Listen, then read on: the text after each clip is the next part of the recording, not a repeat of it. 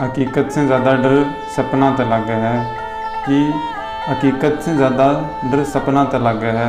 और गोली तो डर ना लगता मेरे भाई डर तो सिर्फ अपना से लग है